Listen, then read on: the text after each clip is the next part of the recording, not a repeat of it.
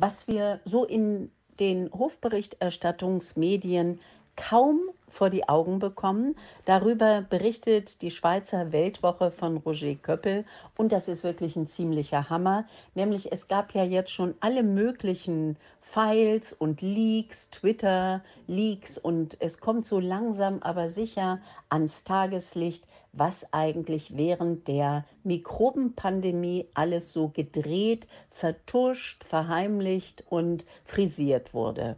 Und jetzt gibt es die Lockdown-Files. Und die beweisen, und zwar ist das eine Meldung aus Großbritannien, denn der ehemalige britische Gesundheitsminister Matt Hancock, der eben zu, Zeit, zu Zeiten der Pandemie das Sagen hatte, der ist aufgeflogen auf ziemlich unerfreuliche Weise, aus seiner Sicht jedenfalls. Und zwar hatte er einer Journalistin, die ein Buch über ihn über die Corona-Zeit schreiben sollte, seine Handydaten überlassen. Also richtig intelligent scheint er auch nicht zu sein. Und sie schrieb also das Buch und lieferte gleichzeitig über 100.000 seiner WhatsApp-Nachrichten an den Daily Telegraph.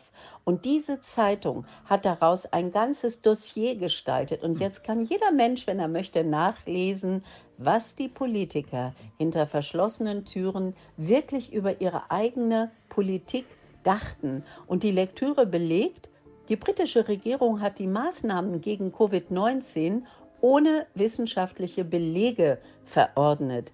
Aus einem reinen Machtrausch heißt es hier, oder um nicht hinter anderen Staaten zurückzustehen. Merkten sie, dass die Maßnahmen nichts brachten, hielten sie dennoch daran fest, um das Gesicht nicht zu verlieren. Ja, diese Dreistheit ist natürlich wirklich kaum zu, zu fassen, wenn man darüber nachdenkt, zumal es natürlich eine menschenverachtende Politik war. Und wenn ich mir vorstelle, dass dieser Gesundheitsminister von England diese Geschichte eben halt noch so intern auch noch kommuniziert hat mit seinen, wen auch immer Partnern oder für wen er da auch dienend tätig war.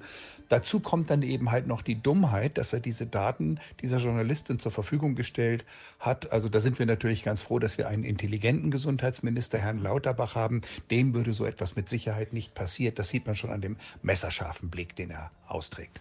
Aber Lauterbach, Andreas, der ist ja zum Schluss erst Gesundheitsminister geworden. In der Verantwortung steht der Herr Spahn. Der hat ja jetzt schon sein Buch in äh, sinngemäß so genannt, dass wir uns noch viel gegenseitig vergeben müssten. Ja, ich denke mal, da muss er noch ein bisschen umdenken. Das heißt, wir müssen uns nicht gegenseitig etwas vergeben. Wir müssen auch ihm überhaupt nichts vergeben, sondern er gehört natürlich wie viele dieser Politiker, dieser Gesundheitsminister von England gehört ja auch dazu, jetzt theoretisch doch vor ein Gericht gestellt oder habe ich da was falsch verstanden?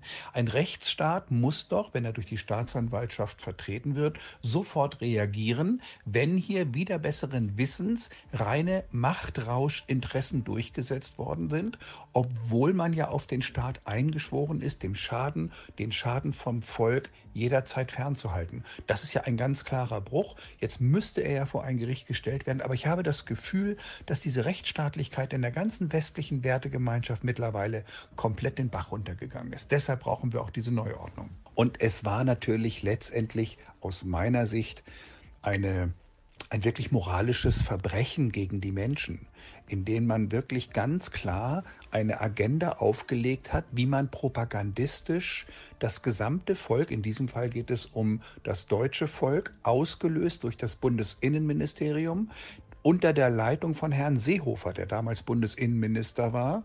Und derjenige, der das damals aufgedeckt hatte, das war ein Herr Kohn, der war für die kritische Infrastruktur in der Bundesrepublik zuständig und hat gesagt, wir zerstören unser Land mit einer unglaublichen äh, Dramatik. Der gesamte Mittelstand wird den Bach runtergehen. Er ist mehr oder weniger dann aber von seinen eigenen Behördenleitungen abgewehrt worden, hat dann mehrere Wissenschaftler aus aller Welt obersten Grades zusammengetrommelt und hat ein großes Gutachten darüber geschrieben, über dieses Papier.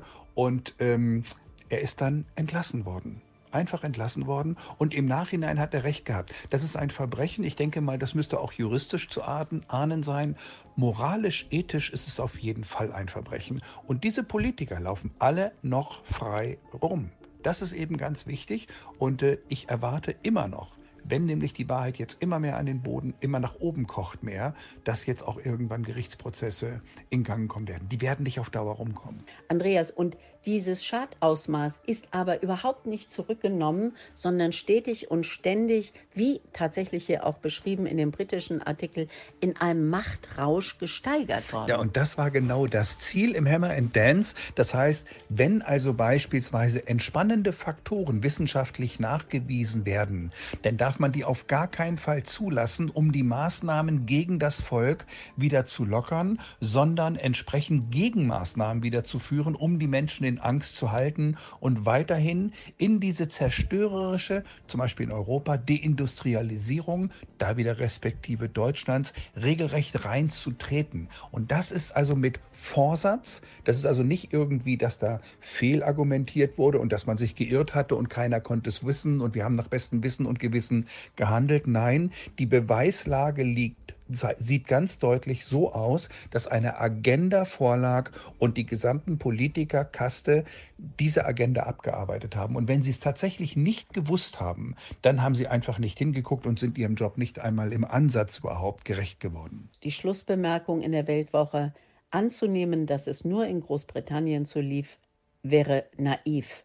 Denn wenn es im Königreich keine wissenschaftliche Basis für Maßnahmen gab, warum dann anderswo? Ja, das ist ein Schlag ins Gesicht der Menschheit. Und das ist immer wieder schwer nachzuvollziehen, wie viele Menschen trotz oder wieder besseren Wissens, jeder kann das lesen, jeder kann das herausholen, jeder kann das auch beweisbar im Prinzip nachvollziehen. Und trotzdem gibt es noch genügend Menschen, die sagen also, äh, nein, nein, ich lasse mich auch noch weiter da entsprechend behandeln. All diese Dinge spielen da ja auch mit rein. Und ich frage mich, wie weit kann man Menschen dermaßen runterdrehen in eine Stumpfheit, dass sie tatsächlich wirklich völlig beratungs- und erkenntnisresistent werden. Wirtschaftswissenschaftler, die sagten, wenn ihr das alles macht, dann droht hier ein absolutes Chaos und äh, ja, der wurde rausgepfeffert und die äh, Wissenschaftler wurden mit einem Bann belegt.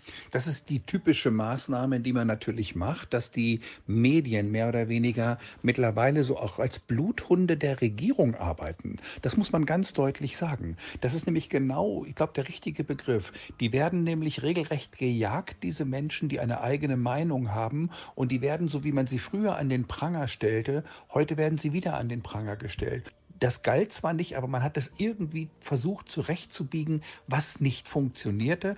Und obwohl alle mittlerweile wissen, dass es die Unwahrheit war, dass es eine Lüge war vom System, trotzdem bleibt das Narrativ stehen. So funktioniert eben halt der Autoritismus oder Totalitarismus, so ist es richtig.